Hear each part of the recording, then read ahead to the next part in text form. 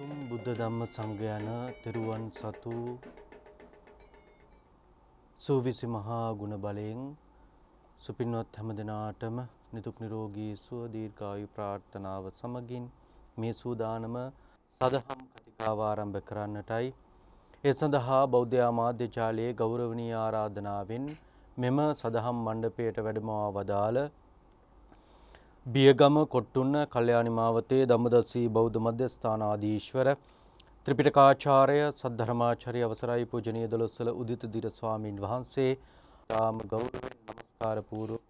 පිළිගනු ලබනවා. අද දවසේ මේ උතුම් සද්ධර්ම සාගර සදහම් කතිකාවතෙහි ධර්ම දානමය පින්කම සඳහා සුපින්වත් දායකත්වයේ දරනු ලබන්නේ 538න් ඒ හේනිහත්ත පාර බියගම ලිපිනෙහි පදිංචි දිල්හානි ප්‍රියංගිකා දියණිය ජයනිත් රාජපක්ෂ පුතණුවන් දිනේෂ් කරුණාසිංහ බෑණනුවන් සහ පවුලේ සත්පුරුෂ පින්වත් හැමදෙනා විසිනුයි. එසේනම් මේ හෝරාවට નિયમિત සද්ධර්ම සාගර සදහම් කතිකාව ආරම්භ කරන්නට ධර්ම කාරණාවන් පැහැදිලි කර දෙන්නට අපගේ පින්වත් ස්වාමින් වහන්සේට ඊටාම ගෞරවයෙන් හැම දෙනා වෙනුවෙන්ම নমස්කාර පූර්වක ආරාධනා කොට සිටිනවා. සුපින්වත් ඔබ හැම දිනාටම උතුම් තෙරුවන් සරණයි. බුද්ධාදී රත්නත්‍රය සතු සූවිසි මහා ගුණ බලයෙන් සියලු දෙනාම නිදුක් වෙත්වා නිරෝග වෙත්වා සුවපත් වෙත්වා දිගා සිරි සම්පත් ලබත්වා කියලා පළමුවෙන්ම ආශිර්වාද ප්‍රාර්ථනාවන් සිදු කරනු ලබනවා. මේ වැඩසටහන මෙහෙයවන විචිත්‍ර ධර්ම දේශක පූජනීය දෙල්වල සරණසිරි ස්වාමීන්ද්‍රයන් වහන්සේ ප්‍රධාන වන්දනීය පූජනීය මහා සංඝරත්නයෙන් අවසරයි. අද මේ උදාර සද්ධර්ම සාකච්ඡාවෙහි දායකත්වය දරන්නේ 538න් ඒ හේනිහත්ත පාර බියගම ලිපිනයෙහි පදිංචි දිල්හානි පියංගිකා මහත්මිය. එවගේම ජයනිත් රාජපක්ෂ මහත්මා. එවගේම දිනේස් කරුණාසිංහ මහත්මා බෑනා. එවගේම පවුලේ සියලු දෙනා. මෙන්න මේ පින්වතුන් තමයි ඊ타ම සද්ධාවෙන් ගෞරවයෙන් මේ උදාර පින්කමේ දායකත්වය දරමින් කටයුතු කරන්නේ. විශේෂයෙන් මව්පියන්ට පින් අනුමෝදන් කිරීමේ ප්‍රාර්ථනාවෙන් සිදු කරන උදාර පින්කමක්. අපි පසුව ඒ අයට පින් අනුමෝදන් කිරීම සිදු කරනු ලබනවා. අද පින්කම ගැන හිතලා සතුටු වෙන්න මේ උදාර ධර්ම දානමය කුසලය මෙලොව දියුණුව පිණිස උපකාර වේවා. පරලොව සුගතිය පිණිස උපකාර වේවා. සසර දුකින් එතරව ලෝකෝත්තර අමා මහ නිවනින් සැනසීම පිණිස හේතු වේවා. වාසනා වේවා කියලා සාදු කියලා ප්‍රාර්ථනා පිහිටුවා ගන්න. මේ වැඩසටහනේ නම හැමෝම දන්නවා. මේ වැඩසටහන හඳුන්වන්නේ සද්ධර්ම සාගරය කියන නමින්. සද්ධර්ම සාගරය කියලා කියන්නේ සිංහල භාෂාවෙන් ලියලා තියෙන බණ පොතක්. ඒ බණ පොතේ පිටු 3000ක් විතර තියෙනවා. ඒ කියන්නේ ලංකාවේ සිංහල භාෂාවෙන් ලියලා තියෙන විශාලම බණ පොත තමයි සද්ධර්ම සාගරය කියලා කියන්නේ. රජ කාලේ ලිව්වනම් එහෙම මහ විශාල සම්මාන ලැබෙන ගම්බර ගණන් තෑගි ලැබෙන තරම් මහ විශාල උදාර කටයුත්තක් මේ ග්‍රන්ථය ලියපු අම්බලංගොඩ ධම්ම කුසල කියන නායක මාහිමිපාණන් වහන්සේ සිදු කරලා තියෙන්නේ. මේකේ විස්තර කරන්නේ ධම්මපදයේ ගාථා සහ ඒව දේශනා කරන්න හේතුන නිදාන කතා. බොහොම සරලව ධර්මය ඉගෙන ගන්න කැමති අයට ඊටාම වටිනා කියන පොතක් සද්ධර්ම සාගරය. අද ධර්ම දේශනාවට අදාළ මාතෘකාව දක්වලා තියෙන්නේ බලල් පාද ඇති සිටුවරයා කියලා. බලල් පාද ඇති සිටුවරයා. එක් කාලයක සැවැත් නුවර වැසියන් එකතු වෙලා බුද්ධ ප්‍රමුඛ මහා සංඝරත්නයට දානයක් පූජා කරනවා. ඉතින් මේ දානයට වැඩම කළ බුදුරජාණන් වහන්සේ දවසක් දේශනා කරනව දානෙ වළඳ අවසානයේදී උපාසකවරුනි මේ ලෝකයේ දම් දෙන සමහර අය දන් දෙන විට අනුන් සම්මාදං කරවා ගන්නේ නැහැ. තමන් තනියෙන්ම දන් දීම සිදු කරනවා සමහර අය දන් දෙනකොට. අපි වුණත් බොහෝ වෙලාවට දාන දෙන්නේ එහෙමනේ. අනුන් සම්බන්ධ කරගන්නේ නැතුව තමන් තනියෙන්ම දන් දීම සිදු කරනවා. හැබැයි දැන් කාලේ බොහෝ දාන කරන්න වෙලා තියෙන්නෙත් එහෙම තමයි. දැන් ඔය මාසිකව තියෙන දාන ආදීයේදී අනික් අය සම්බන්ධ කරගන්නවා කියන එක අමාරුයිනේ. ඉතින් අන්න එහෙම අනුන් සම්බන්ධ කරන්න නැතුව Taman තනියෙන්ම දන් දෙන අය ඉන්නවා. ඊළඟට බුදුරජාන් වහන්සේ වදාළ ඔවුන් උපදින උපදින තැන්වලදී භෝග සම්පත්තිය ලබනවා. ආහාර පාන ඇඳුම් පැළඳුම් මිල මුදල් ධන ධාන්‍ය ගෙවල් දොරවල් යාන වාහන වතු පිටි හරකබාන හැම දෙයක්ම ලැබෙන උපදින උපදින ජීවිතවලදී ඒ වුණාට ඔවුන්ට පරිවාර සම්පත්තිය ලැබෙන්නේ නැහැ. පිරිසක් නැහැ. ලෙඩක් දුකක් වුණහම බලන්න කෙනෙක් නැහැ. අසරණ වුණහම බලන්න කෙනෙක් නැහැ. හොඳ ඥාතීන් පිරිසක් නැහැ. හොඳ අසල්වැසියන් පිරිසක් නැහැ. සහෝදරයෝ හිටියත් සහෝදරයෝ එකෙකුට එකෙක් නැහැ. බලන්නේ නැහැ. නෑදෑයෝ හිටියත් නෑදෑයව කොන් කල්ලා වගේ දානවා.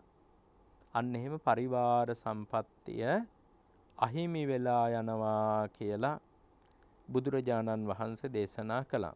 ඊළඟට බුදුරජාණන් වහන්සේ දේශනා කළා පින්වත්නි සමහර අය දන් දෙනකොට තමනුත් දන් දෙනවා. ඒ වගේම අනික් අයත් මේ දානයට සම්මාදං කරවා ගන්නවා. එකන අනිත් අයත් දානයට උදව් කරගන්නවා උපකාර කරගන්නවා එකතු කරගන්නවා එකතු කරගෙන දන් දෙනවා. එහෙම දන් දෙන අයට උපදින උපදින ජීවිතවලදී හොඳට භෝග සම්පත් ලැබෙනවා. භෝග සම්පත් විතරක් නෙමෙයි පරිවාර සම්පත්තුත් ලැබෙනවා. පරිවාර සම්පත් කියන්නේ පිරිවර කියන එකමනේ. ඉතින් පරිවාර සම්පත් ලැබෙන්න හේතු වෙනවා Taman සසරදී කවදාවත් තනි වෙන්නේ නැහැ. මේක නැති වුණාට තව ඒ ගැන තව ටිකක් විස්තර කියන්නට ඕනේ. සමහර අය ඉන්නවා Taman දන් දෙන්නේ නැහැ. ඒ වුණාට දන් දීමේ වටිනාකම ගැන අනික් අයට කියලා දෙනවා. එයා මුල් කරගෙන එයත් සහභාගි කරවාගෙන අනික් අය දන් දෙන අවස්ථා තියෙනවා. එහෙමත් උපාසක උපාසිකාව ඉන්නවා. තමන් පින්කම් කළේ නැති වුණාට අනික් අය පිනට එකතු කරගෙන අනික් අය පින්කම්වල යොදවන උපාසක උපාසිකාව ඉන්නවා. ඒ අය උපදින උපදින ජීවිතවලදී බවබෝග සම්පත් නැතුව බොහෝම දුප්පත්ව අසරණව හිඟන්නෙක් බඳුව උපත ලබනවා. හැබැයි ඒ වුණාට හොඳ පරිවාර සම්පත්තියක් ලැබෙනවා. හොඳ වැදගත් මිනිස්සු අඳුරනවා දන්න කියන අය ඉන්නවා ඕනි දේකට මිනිස්සු ඉන්නවා. ඉතින් ඒ අය ලොකුකමට කියන්නෙත් තමන්ගේ ආඩම්බරයට කියන්නෙත් අපි ඉතින් සල්ලි නෙවෙයිනි හම්බ කළේ අපි හම්බ කරගත්තේ මිනිස්සු කියලයි කියන්නේ. ඇත්තටම ඉතින් සංසාරේ දන් දීලා නැහැ. අන් අය පින්කම් වල යෙදවීම විතරයි කරලා තියෙන්නේ. නමුත් ඒකත් පින්කමක්.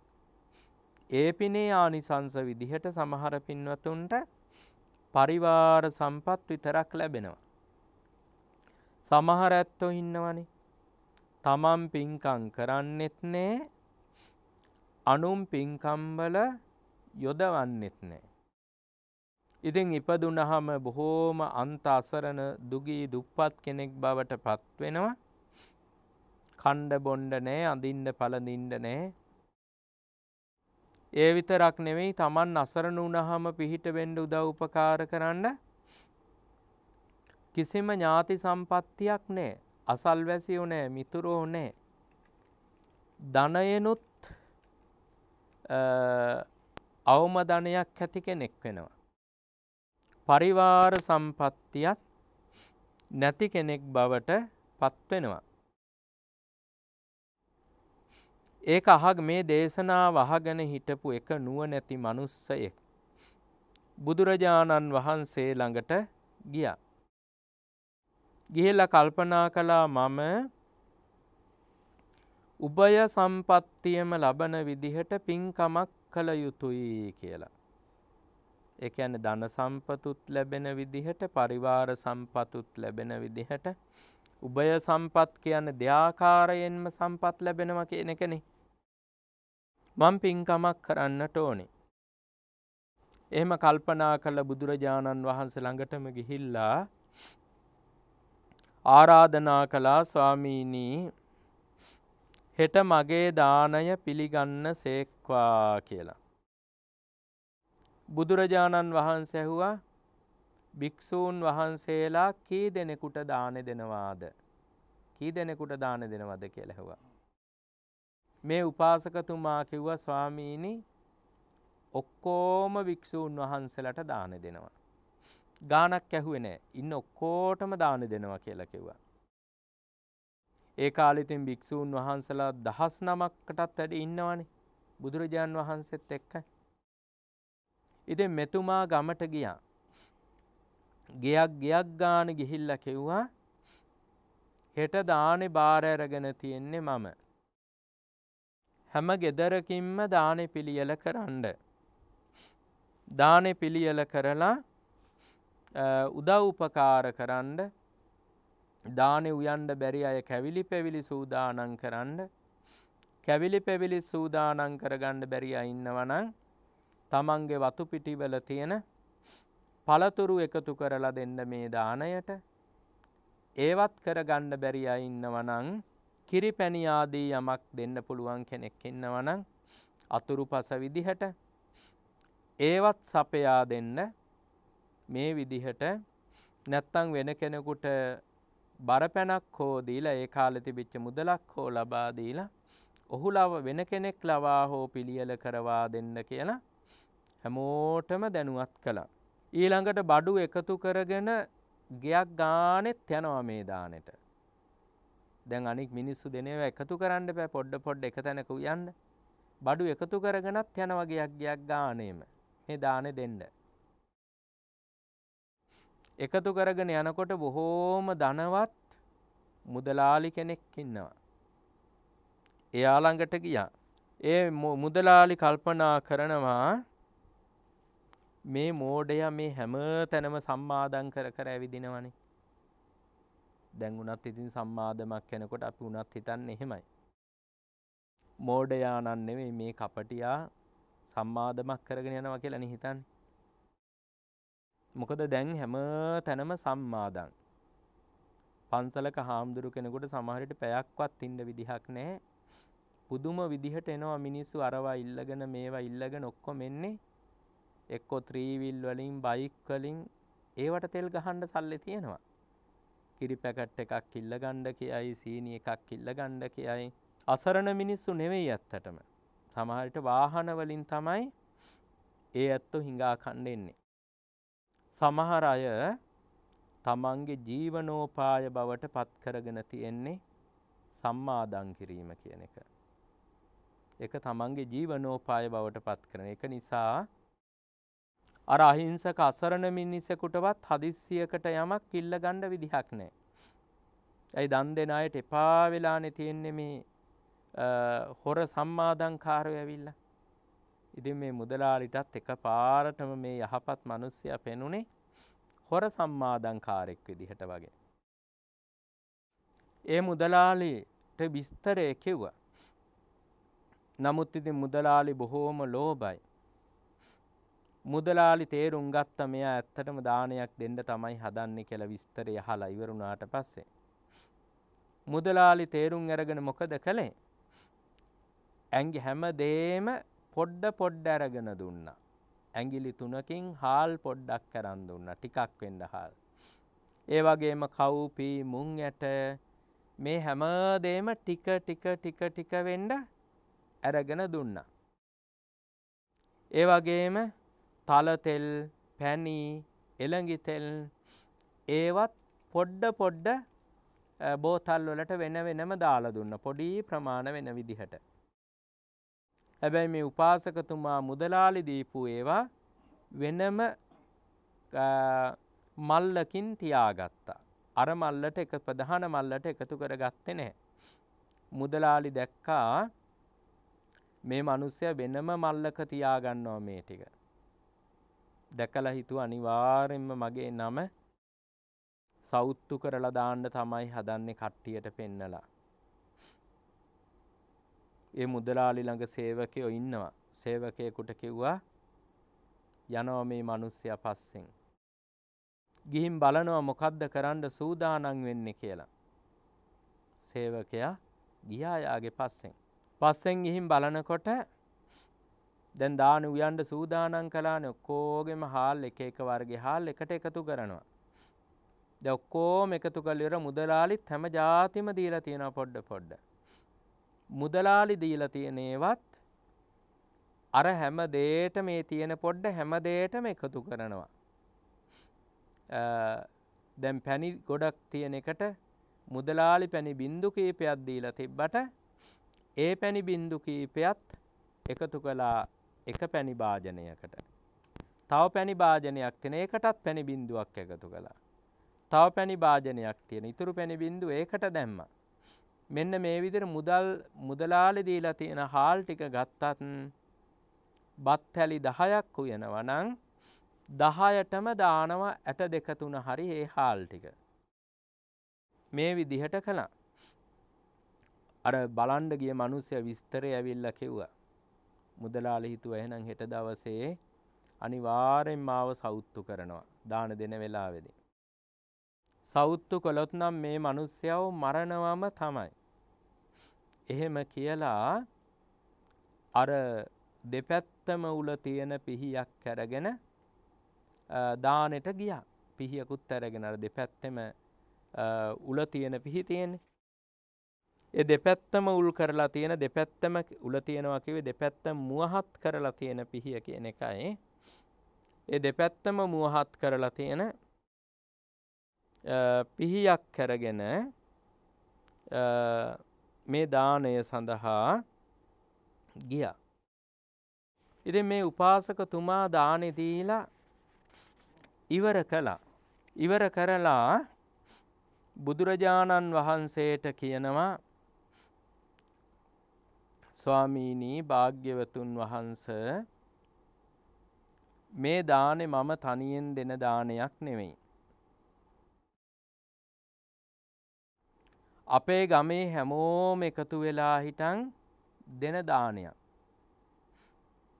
එක එක්කෙනා තම තමන්ට පුළුවන් පුළුවන් විදිහට උදව් කළා.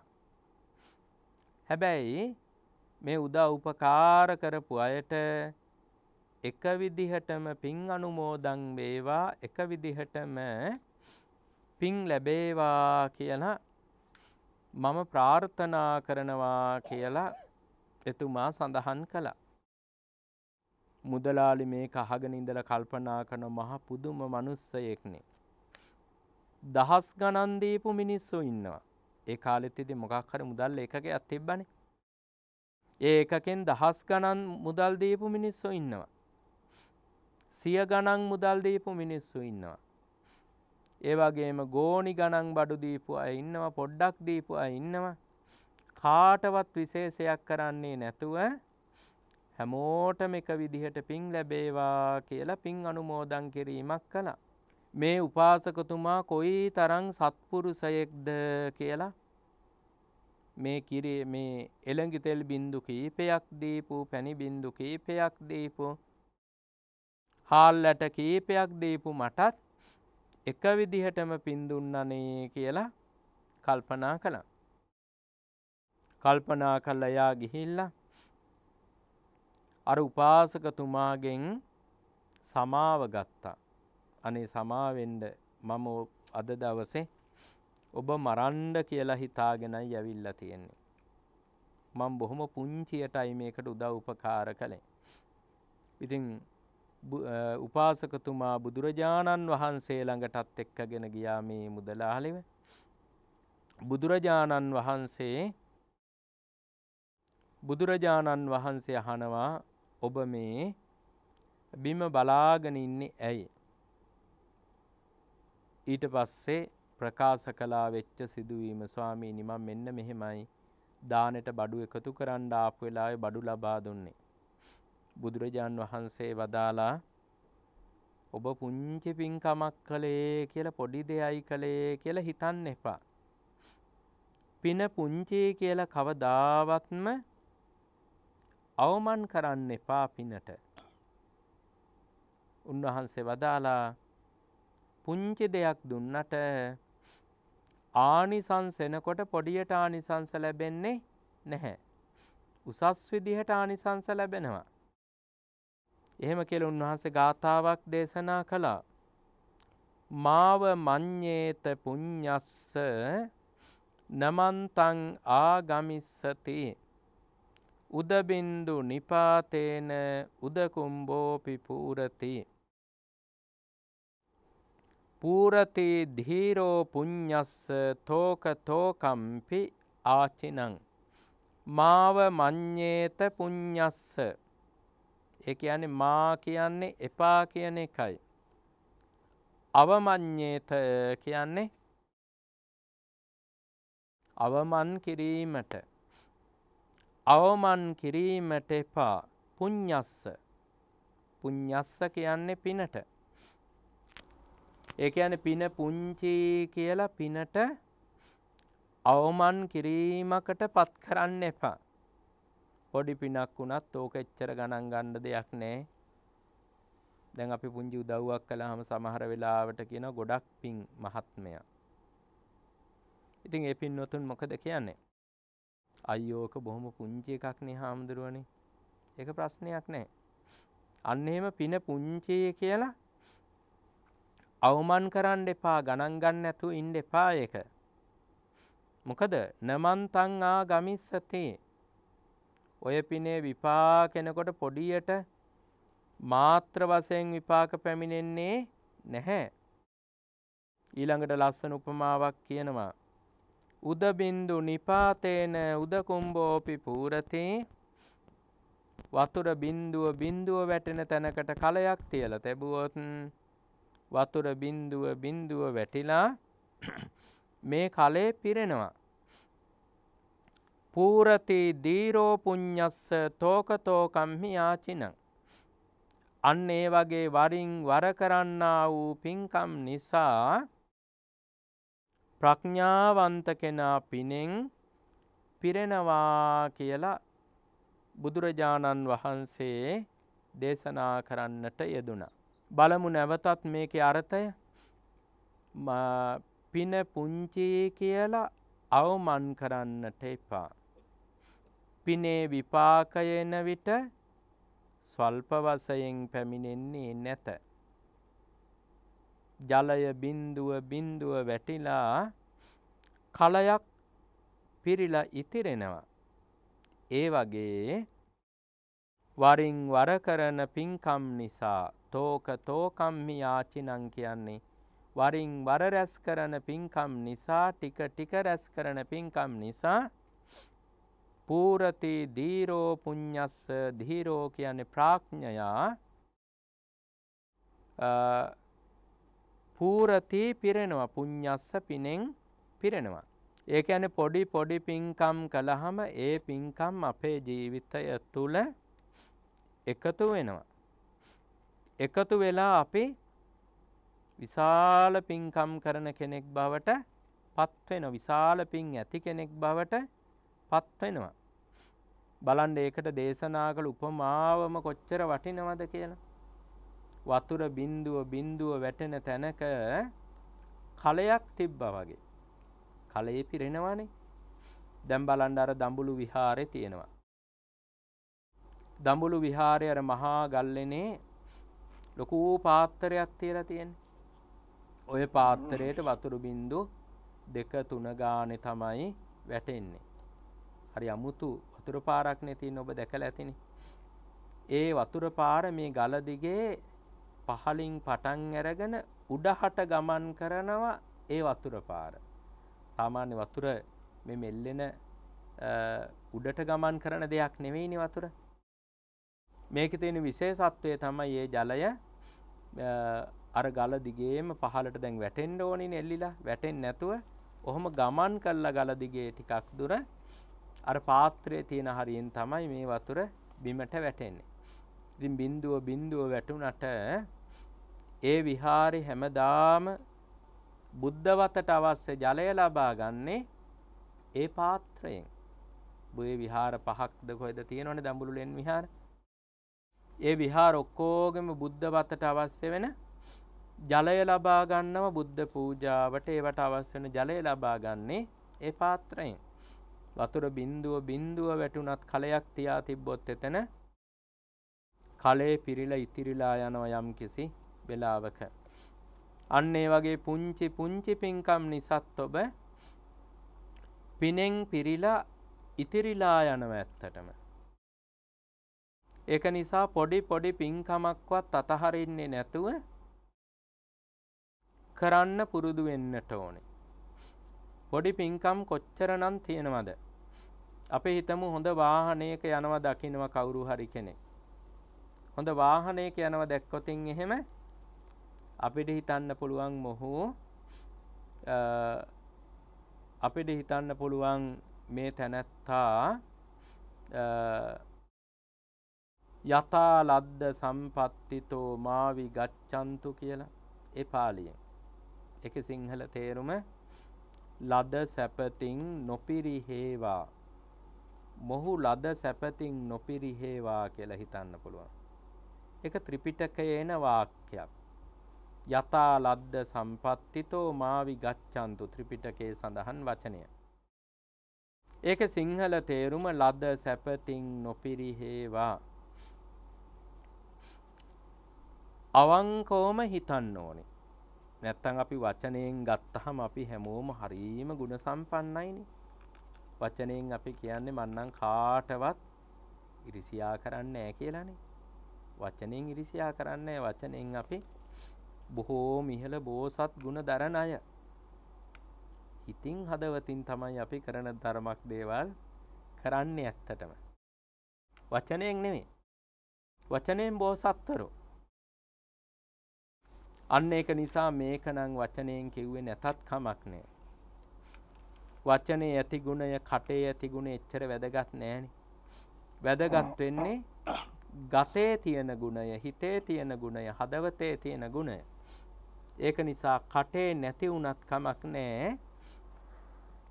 හදවතින්ම හිතන්ඩ සම්පත් විඳින කෙනෙක් දැක්කහම ලද සැපතින් නොපිරිහේවා.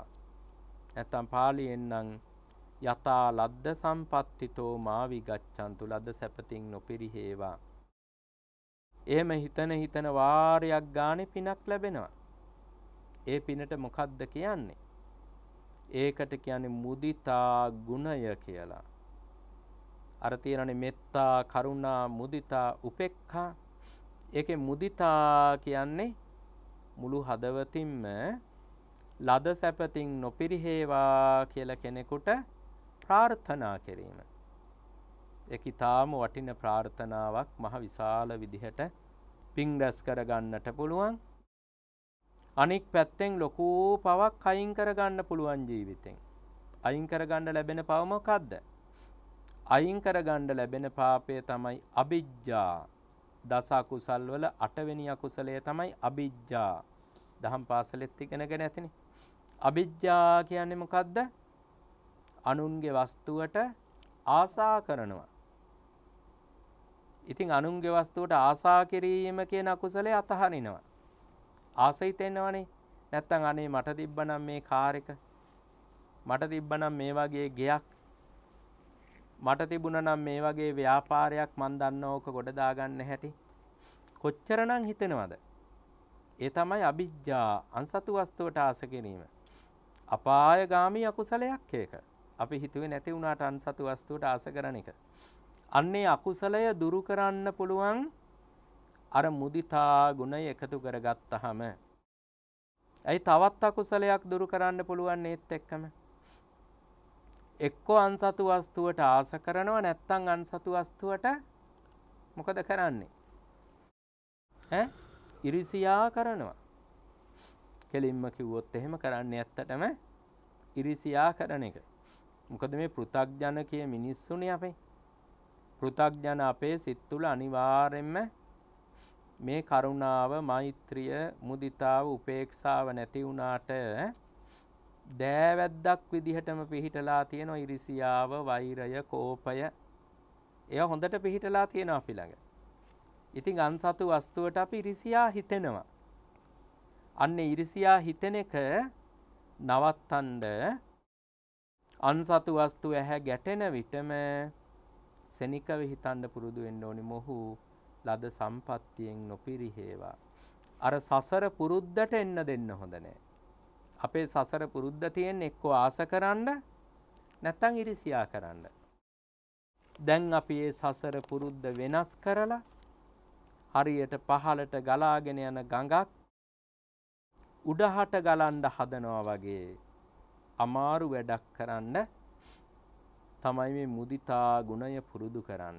එක අමාරු වැඩක්. අන්නේ වගේ අපිට අප්‍රමාණවත් පින් රැස් කරගන්න පුළුවන්. අපේ හිතමු මදුරුවෙක් වහනවා කියලා. මදුරුවෙක් ඇහුවොත් පිමින්නකෝ අප්‍රමාණ පිනක් රැස් වෙනවා. ප්‍රාණඝාතය නවත්තලා දාන්න. කිසිම මදුරුවෙක්ව මරන්න එපා. සතෙක් මරන්න එපා. කොමොඩ් එකේ කූඹි ටිකක් හිටියත් පරණ රෙදි කෑල්ලක් අරගෙන හිමින් පිය දාලා පැත්තකට දාන්න. ඒ කූඹි ඉද්දිම පාවිච්චි කරන්න වතුර ගහන්න පුරුදු වෙන්න එපා. ඒ කොමඩ් එක පිය දාන්න කූඹි ටික අයින් කරන්න කැත හිතන්න එපා. අප්පිරිය හිතන්න එපා. අපි කැත හිතන්න ඕනි අප්පිරිය හිතන්න ඕනි පාපයටයි. ඒකනේ ගුණය. පාපයට කැත හිතනවා අප්පිරිය හිතනවා ඒකනේ කිවි හිරියොතප් කියලා. අන්න ලැජ්ජාව ඇති කරගන්න ඕනි, බය ඇති කරගන්න ඕනි, පිළිකුල ඇති කරගන්න ඕනි පාපයටයි. අන්න ඒ නිසා ගුණය පුරුදු කරන්න බලන්න පුංචි දෙයක් ඒ වුණාට මහ විශාල ගුණයක්. මොකද්ද ගුණය? ඔබ කලක් එහෙම මදුරුවන්ට කූඹින්ට ජීවිතය ලබා දෙනකොට කාලයක් යනකොට බැලුවහම අනන්ත අප්‍රමාණ සත්ව පිරිසකට අභයදානය දුන්න කෙනෙක් වෙනවා. අභය කියන්නේ බය නැතුව ජීවත් වෙන්න අවස්ථාව. ඒක තමයි නියම අබේදානය. දැන් අපි දෙන අබේදානයටත් වඩා හොඳ. දැන් අපි අබේදානය දෙනෝනේ හරකෙක් නිදහස් කරනවා.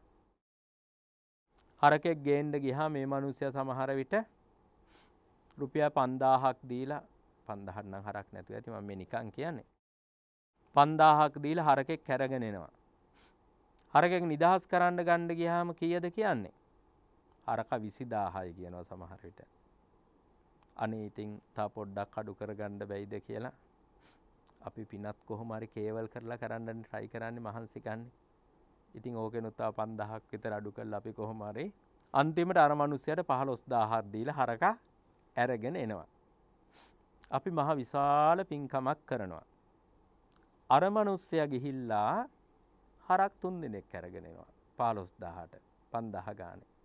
සමහර වෙලාවට එක හරකෙක් මරන්නේ එක හරකෙක් මරණයෙන් නිදහස් කරන්නේ අපේ තවහරක් දෙන්නෙක්ගේ ජීවිතය විනාස කරන්න පරිසරය හදල වෙන්න පුළුවන්. ඉතිං ඊට වඩා වටිනෝ ප්‍රාණඝාතයෙන් වැලකෙන්ඩ. ඒක ලොකු අබේදානයක් බුදුරජාන් වහන්සේ වදාලා දේශනාවකද ප්‍රාණඝාතයෙන් වලකින තැනැත්තා අනන්ත අප්‍රමාණ සත්වයන්ට අවේරංදේති අභයංදේති කෙල දේශනා කළා වෛර නැති බව දන්දෙයි අභයදානය දෙයි කියලා. අන්න නියම අබේදානය පුරුදුවෙන්ඩ. නියම අබේදානය තමයි ප්‍රාණගහතයෙන් වැලකීම. පුංචි කාලින්දම්ම ළමයින්ටත් පුරුදු කරන්න ඕනි තමනුත් තදයිදම්ම පුරුදුවෙන්ඩ ඕනි මොකද අපි උරු මරන්න නෑනෙ අපිට තියෙන පුංචි දෙයක් කූම්බි ටිකක්ගේ ජීවිත පරිස්සං කරල දෙන එක. මදුරුවන්ගේ ජීවිත පරිස්සං කරන එක ඔය දෙක විතරක් වගේ. මොකද ඉස්සර වගේ දැන් උකුණොත් නෑ ඔලුවේ ලේඩි බිඳින්ඩත් නෑ අන්න ඒක නිසා අපිට පොඩි දේවල් ටිකයි කරන්න තියෙන මේ උදාර පින්කමක් ජීවිතයට එකතු කරගන්න. අන්න එම පොඩි පොඩි පින්කම් කරන්නකොට අපේ ජීවිතය පිනෙන් පිරිලා ඉතිරෙන්න පටන් ගන්නවා. බලන්ඩ අපේ ගෙවල්වල හැමදාම ආහාරපාන උයනවා. ඉති මේ ආහාර පානබලින් පුංචි කොටසක් සතුන්ට දන් දෙෙන්ඩ පුරුදුනානම් අපි හිතමු ලැල්ලක් ගහලා පුංචි බත්තහුරක් ගිහිල්ල පක්ෂීන්ට කණ්ඩ මේ ලැල්ලට දාණ්ඩ පුරුදු කරගන්නවා. කාල ඉවර වෙලා නෙවෙයි. කාලිවරලා ඉදුල් ටිකතින් කොහොමත් විසි කරන එකන දන්දීල දානවා එදා නෙච්චර වටිනාකමක් නෑ. පිරිසිදුව දෙන්න ඕනේ කණ්ඩ ඉස්සෙල්ල හරි කාල ඉවරුණාට කමක් නෑ අර ඉඳුල් ඉතුරු කරපු කුණුකොට නෙමෙයි. ඉති හොඳ ඉතුරු වෙලා තියෙන හොඳ බට්ටිකක් අන්න එහෙම පුරුදු වෙනවා සතෙකුට බත්තහුරක් දන් දෙන්න. කොහේ හරි යනවනං එහෙම වීටිකක් හරි පොඩ්ඩක් හාල්ටිකක් හරි පොඩ්ඩ වැඩියෙන් වගේ දාලා තියල යන උන් ඉතින් ඒවත් කනවනේ බත් විතරක්ම නෙවෙයිනේ. නැත්තම් බත් පොඩ්ඩක් වැඩියෙන් දාලා තියලා යනවා. අන්න ඒ වගේ පින්කම් කරන්න සාමාන්‍ය එකක් නෙවෙයි. සතෙකුට කුස පෙරෙන්ඩ ආහාර දුන්නහම ආත්ම සීයක් සුගතිය උපදින්න පුළුවන් තරම් පින්කමක් සිද්ධ වෙනවා පිනක් ලැබෙනවා. ඉතින් ඒක නිසා එය පොඩි පින්කම් කියලා හිතන්න එපා. එය විශාල පින්කම් ඇත්තටම. එහෙම බට්ටිකක් කුරුල්ලෙකුට දෙන්න බැරි නං ඔය ඉඩ මේ සාමාන්‍ය නිකන් තියෙන තැන් තියෙනවනේ අපිට එච්චරම වැදගත්වෙන් නැති ප්‍රයෝජනවත් වෙන්න ඇති තැන. අන්නේ තැනකට බත් පොඩ්ඩක් විසි කරලා දාන්න මොකද ඒව කණ්ඩත් කූම්බි ඉන්නවා. ඒ අරගෙන ගිහිල්ල කණ්ඩ කූම්බි ඉන්නවා. කූම්බින්ට ආහාර පාන පිණිසේවා පවතිනවා. ගේවටේ දා ගණ්ඩ එපා එතකොට ගෙට කූම්බියෙන්ට පටන් ගන්නවනේ. නමුත් අර ගස් කොළං ආදිය තියෙන තැනකට තමන්ට බාධාවක් නොවෙන තැනකට බත් හට්ටි පෙටිං නෙවෙයි අර පිළිුණු ගඳෙන් එහෙම නැතිවෙන්න බත්තට කීපයක් විසි කලාට කමක් නෑ අර බුදුරජාන් වහන්සේ දේශනා කළේ ගෙදර කෑම උයපු වලං හෝදලා විසිකන්නකොට හිතන්ඩ කියලා දේශනා කළා. මේ ඉඳුල්වල තියෙන කුඩා කුඩා ආහාර කැබලි ටික කුඩා කුඩා සතුන්ට ආහාර වේවා එහෙම හිතලා ඉඳුල් වතුර ටික විසි කරන්න කෙව්වේ දැන්නං ඉතින් සිංක එකක් තියෙන හන්ද එක කරගණ්ඩ ලැබෙන්නේ අපිට ඒක ඉතින් කැලින්ම වලකට යන්නනි හදලා තියෙන්නේ. ඉතින් බුද්ධ කාලේ එහෙම නෑනේ. ඔය වලං හොදලා ඉඳුල් වතුර ටික පිළිකන්නේ දොරෙන් ඈතට විසි කළා දානවා. පිළිකන්නේ දොරෙන් එළියට බැහැලා මිදුලේ පොඩ්ඩක් දුර ගිහිල්ලා එතන ඉඳන් ඈතට විසි කල්ලා දැම්මන් ඉඳුල් වතුර ටික ඉඳුල් වතුර ටික විසි කරන කොටත් එහෙම හිතන්න කියලා උන්වහන්ස දේශනා කරන්නට යෙදුනා. එකඳ පුංචී කියලා හිතන්නට එපා පින්කම. ඒ වගේම ගමනක් බිමනක් යනකොට හැමදාම අපේ ගෙදර බුදු මැදුරක් තියෙනවනි පුංචි බුදු පිළිමයක් හරි තියලා තියෙනවනි ගමනක් බිමනක් යන්න පිටත් වෙනකොට අනිවාර්යෙන්ම බුදු පිළිම ළඟට ගිහිල්ලා වන්දනා කරලා යන්න පුරුදු වෙන්න. හිතන්න භාග්‍යවත් අරිහත් සම්මා සම්බුද්ධ තථාගත සම්මා සම්බුදුරජාණන් වහන්සේට ආදරයෙන් ගෞරවයෙන් යුතුව වැඳ නමස්කාර කරමි මාගේ නමස්කාරය වේවා තථාගතයන් වහන්සේ දේශනා කොට වදාළ උතුම් ශ්‍රී සද්ධර්මයටත් මම නමස්කාර කරමි මාගේ නමස්කාරය වේවා. තථාගතයන් වහන්සේගේ ශ්‍රාවක පුත්‍රාර්ය මහා සංඝරත්නයටත් මම නමස්කාර කරමි මාගේ නමස්කාරය වේවා. ත්‍රිවිධ රත්නයට මගේ සිතින් කයින් වචනයෙන් වරදක් වුණා නම් මාහට සමාව ලැබේවා. මම යන මේ ගමන බිමනටත් තෙරුවන්ගේ ආශිර්වාදය ලැබේවා. අන්න එහෙම හිතලා වන්දනා කරලා ගමනක් පිටත් වෙන්න පුරුදු වෙන්න. ඔෆිස් එකට ගියත්, කඩේට ගියත්, ටවුන් එකට ගියත් ඒ වගේ ಗುಣධර්ම පුරුදු වෙන්න. ඒවෙන් අප්‍රමාණවත් පින් ලැබෙනවා. ඒ කියන්නේ මේ පෘථග්ජන මිනිස්සෙකුට වසරක් කණ්ඩ දෙනවට වඩා පිනක් ලැබෙනවා බුදු කෙනෙක් සිහි කළා එකවරක් වන්දනා කිරීමෙන්. බලන්න ආනිසංසය පොඩි ආනිසංසයක් නෙමෙයි. ධම්මපදයේම ගාථාවක තියෙන තේරුමක් මම ඒකෙවේ. පුතත්ජන මිනිස්සයන්ට අවුරුද්දක් කණ්ඩ දෙනවට වඩා පින් ලැබෙනවා බුදු කෙනෙක්ගේ ගුණ සිහි කළ එකවරක් වන්දනා කිරීම. එච්චර ශ්‍රේෂ්ඨයි බුදුවරුන්ගේ ගුණය. බලන්න ඔබ පුංචි දෙයක් කියලා හිතුවට කොයි තරම් ආනිසංසයක් ඒකෙන් ලැබෙනවද කියලා. එහෙම එක නිසා අන්න ඒ වගේ දේවල් පුරුදු වෙන්න. ඒ වගේම හැමදාම පුරුදු වෙන්න ඕනි පොඩි වෙලාවක් හරි මෛත්‍රී කරන්න. තථාගත බුදුරජාණන් වහන්සේ අර කරණීය මෙත්ත සූත්‍රයේදී දේශනා කළානේ කොහොමද කෙටියෙන් මෛත්‍රී කරන්න කියලා. උන්වහන්සේ වදාළ කෙටියෙන් මෛත්‍රී කරන්නේ කොහොමද? අර කරණීය මෙත්ත සූත්‍රයේ තුන්වෙනි ගාථාවේ තුන්වෙනි පේලියේ සහ හතරවෙනි පේලියේ දේශනා කළා මෙහිම තුන්වෙනි ගාථාව මතක ඇතින ඔබට? නච කුද්දං සමාචරේ කිංචයේන විඤ්ඤූ පරේ උපවදෙය්‍යුං. ඊළඟට ඔන්න තුන්වෙනි පේලිය සුඛිනෝවා කේමිනෝ හොන්තු සබ්බේ සත්තා භවන්තු සුඛිතත්තා. අන කෙටි මෛත්‍රිය. සබ්බේ සත්තා සියලු සත්වයෝ සුඛිනෝවා සැප ඇත්තෝ වෙත්වා. කේමිනෝවා බය උවදුරු නැත්තෝ වෙත්වා. සුඛිතත්තා භවන්තු සැපවත් වූ සිත් ඇත්තෝ වෙත්වා. ඔය වාක්‍යෙම ඕනි නෑ. නිතර නිතර හිතනවා නම් සියලු සත්වයෝ වෛර නොවෙත්වා තරහ නොවෙත්වා නිදුක් වෙත්වා සුවපත් වෙත්වා.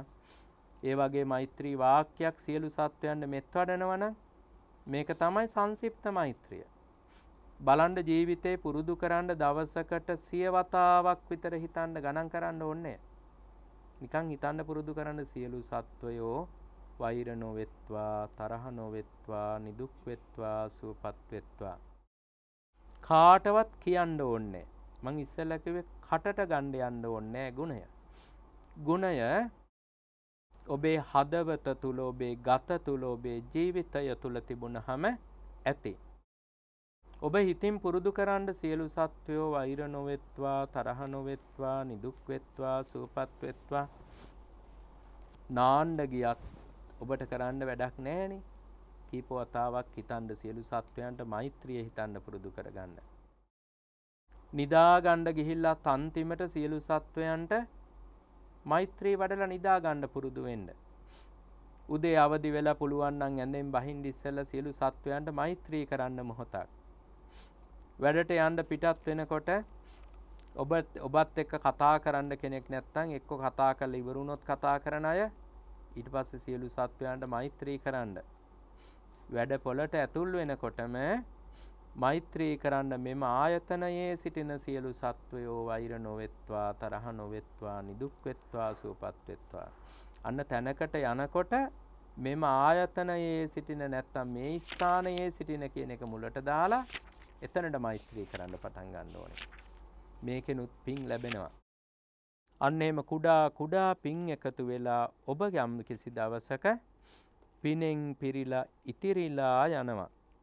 ඉතින් මේ දේශනාව ඒ ධනවත් මුදලාලිට ලෝභ මුදලාලිට සෝතාපට්ටි ඵලය අවබෝධ කරගන්න උපකාර වුණා කියලා ධම්මපදට්ට කතාවේ සඳහන් වෙලා තියෙනවා.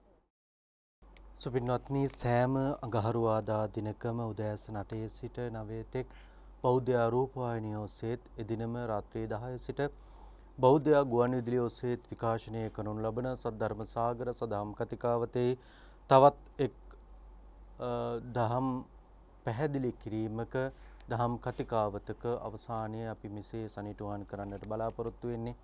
අද දවසේත් මේ උතුම් සද්ධර්ම සාගර සදහම් කතිකාවතෙහි ධර්ම කාරණාවන් පැහැදිලි කොට වදාරන්නට මෙම දහම් මණ්ඩපයට බෞද්ධ මාධ්‍යජාලයේ ගෞරවනීය ආරාධනාවෙන් වැඩමවා වදාලේ බියගම කොට්ටුන්න කල්යාණි මාවතේ ධම්මදස්සී බෞද්ධ මධ්‍යස්ථානාධීශවර ත්‍රිපිටකාචාර්ය සද්ධර්මාචාර්ය අවසරයි පූජනීය දොළොස්වල උදිත දීර ස්වාමින් වහන්සේ උන්වහන්සේ හටත් අප විසින් සිදු කරගත් මේ උතුම් ධර්ම දානමය කුසල ශක්තිය අනුමෝදන් කරමු. නිදුක්ව නිරෝගීව බොහෝ කල්ලෝ සසුන් වැඩ වඩන්නට බොහෝ දෙනාට දහම් මඟ කියා දෙන්නට දහම් මඟ පෙන්වා දෙන්නට උන්වහන්සේට කායික මානසික ශක්තිය ධෛර්යය නිරෝගී සුව අභිවර්ධනය වේවා ප්‍රාර්ථනාව සමගින් අද දවසේත් මේ උතුම් සද්ධර්ම සාගර සදහම් කතිකාවතේ සුපින්වත් ධර්ම දානමය පින්කම සිද්ධ කරන්නට යෙදුනේ පන්සිය තිස් සටෙන් ඒ හේනිහත්ත පාර බියගම පදිංචි දිල්ලහානි ප්‍රියංගිකා මහත්මිය දියණිය ජයනිත් රාජපක්ෂ මහත්මා පුතණුවන් දිනේෂ් කරුණාසිංහ බෑණුනුවන් ඇතුළු පවුලේ සත්පුරුෂ පින්වත් හැමදෙනා විසිනුයි.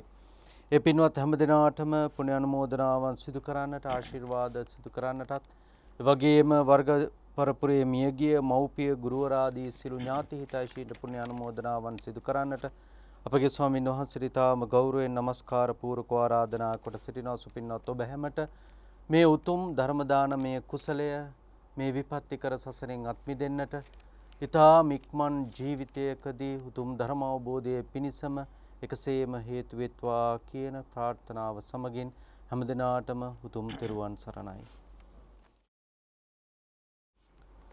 ඉතාමත්ම සද්ධාවෙන් ගෞරවයෙන් අද මේ සද්ධර්ම සාකච්ඡාවෙහි දායකත්වය දරමින් කටයුතු කළා බියගම හේනිහත්ත පාර පන්සිය තිස්සටෙන් ඒ ලිපිනයෙහි දිල්හානි පියංගිකා මහත්මිය. එවගේම ජයනිත් රාජපක්ෂ මහත්මා. දිනේස් කරුණාසිංහ මහත්මා ප්‍රධාන. ඒ පවුලේ පින්වන්ත සත්පුරුෂයන් සියලු දෙනා. විශේෂයෙන් බලාපොරොත්තු වෙනවා උඩුමුල්ල මුල්ලේරියාව පදිංචිව සිට අභාවයට පත් ප්‍රේමා හෙට්ටිආරච්චි මවතුමියට ජයතිස්ස රාජපක්ෂ පියතුමාට සිරිල් කරුණාසිංහ මාමාට ලීලාවතී වන්නිආරච්චි මෞතුමියට පුණ්‍යානුමෝදනා කිරීමට බලාපොරොත්තු වෙනවා. ඒ ආදරණීය අභාවයට පත් ඥාතීන්ට මේ පින් පෙත්තේ කාන්ත කොට දැනේවා පෙනේවා ලැබේවා අනුමෝදන් වේවා. ඒ අයගේ පරලෝක ජීවිත වාසනාවන්ත වේවා සැප බහුල වේවා. සංසාර ගමන සුවපත් වේවා සසර දුක්ගිනි නිවේවා. බුද්ධාදී උතුමන් නිවී සැනසී පැමිණ වදාළ ලෝකෝත්තර අජරාමර අමා මහ නිවනින් සැනසෙන්නටම මේ පින් ඒ සත්පුරුෂයන්ට හේතු වේවා වාසනාව වේවා කියලා සාදු කියලා ප්‍රාර්ථනා කරමු. යමුනා ලියනගේ මව්තුමියට නිදුක් නිරෝගී සුව දිගාසිරි සම්පත් ප්‍රාර්ථනා කරනවා. ඒ වගේම PW සෙනවිරත්න මහත් සෙනවිරත්න ඔව් මහත්මාටත් නිදුක් නිරෝගී සුව දිගාසිරි සම්පත් ලැබේවා. විදෙස්ගතව ඉගෙනුම ලබන සහ රැකියාවල නිරත වෙන දරුවන්ට ආසිර්වාදය රැකවරණය ආරක්ෂාව ඒකාන්ත කොට සැලසේවා. ඒ වගේම ත්‍රිවිධ හමුදාවට සහ පොලිස් නිලධාරීන් සෑම දෙනාටමත් නිදුක් නිරෝගී සම්පත් දිගාසිරි සම්පත් ලැබේවා කියලා ආසිර්වාද කරනවා. දේශකයාණන් වහන්සේටත් බෞද්ධයා මාධ්‍ය ජාලයේ සභාපති අතිගෞරවනීය බොරලන්දේ වජිරඥාන නායක ස්වාමින් වහන්සේටත් කාර්ය මණ්ඩලයටත් මේ වැඩසටහන මෙහෙවන ලද අපේ පූජනීය ස්වාමින් වහන්සේටත් දායකත්වය දැරූ පෙර නම් සඳහන් කරන ලද සත්පුරුෂයන් හැම දෙනාටමත් ආසිර්වාද කරනවා පින් දෙනවා. සියලු දෙනාම මේ පින් බලෙන් නිදුක් වෙත්වා නිරෝග වෙත්වා සුවපත් වෙත්වා දිගාසිරි සම්පත් ලබත්වා ආයුසයෙන් වැඩෙත්වා ශරීර වර්ණයෙන් වැඩෙත්වා නීරෝග සැපයෙන් වැඩෙත්වා කායික බලයෙන් වැඩෙත්වා ප්‍රඥාවෙන් වැඩෙත්වා ගුණයෙන් වැඩෙත්වා නුවණින් වැඩෙත්වා යසයිසුරින් වැඩෙත්වා සැප සම්පතින් වැඩෙත්වා ධන ධාන්‍යයෙන් වැඩෙත්වා. අපල උපද්‍රව සතුරු කරදර මාරක බාධක නවග්‍රහ දෝෂ ඇස්වහ කටවහ දෝෂ දුරු වේවා සියලු යහපත් ප්‍රාර්ථනාවන් මුදුන්පත් වේවා. මෙලොව පරලොව දෙලොව ජයත් වේවා. ඉක්මන් ජීවිතයක බුද්ධාදී මහෝත්තමයන් නිමී සනසී පැමිණ වදාළ සාන්ත ප්‍රණීත ලෝකෝත්තර අජරාමර අමා මහ නිවනින් සැනසෙන්නටම මේ පිං හේතු වේවා වාසනාව වේවා කියා ප්‍රාර්ථනා කරමු. විරූඩ විරූපාක්ෂ වෛශ්‍රවණ දතරාෂ්ට සක්‍ර දේවේන්ද්‍ර ආදී සදෙව්ලෝකවාසී සියලු දෙවියෝද සහම්ප්‍රති මහ බ්‍රහ්මයා ආදී බ්‍රහ්මරාජයෝද විෂ්ණු විභීෂණ සමන් කතරගම දැඩිමුණ්ඩ අයියනායක ගම්බාර ආදී ලංකාවාසී පින් අනුමෝදන් වෙන සියලුම දෙවි දේවතාවෝද අපගේ ඉෂ්ඨකාමි හිතකාමි දෙව්වරුද මේ පින් අනුමෝදන් වෙත්වා. දෙවියන්ගේ දිව්‍ය සම්පත්‍ය අසයිසුරු වඩ වඩා වර්ධනය වේවා. දෙවියන්ගෙත් ආශිර්වාදය රැකවරණය ආරක්ෂාව සැමට සලසා දෙත්වා. දෙවියෝද අමාමහ නිවනින් සැනසීම ලබත්වා. ආකාසට්ටාච බුම්මට්ටහා දේවානාගා මහිද්දිකා පුඤ්ඤන්තං අනුමෝදිත්වා. චිරං රක්칸තු ලෝක සාසනං චිරං රක්칸තු දේශනං චිරං රක්칸තු මං පරන්ති.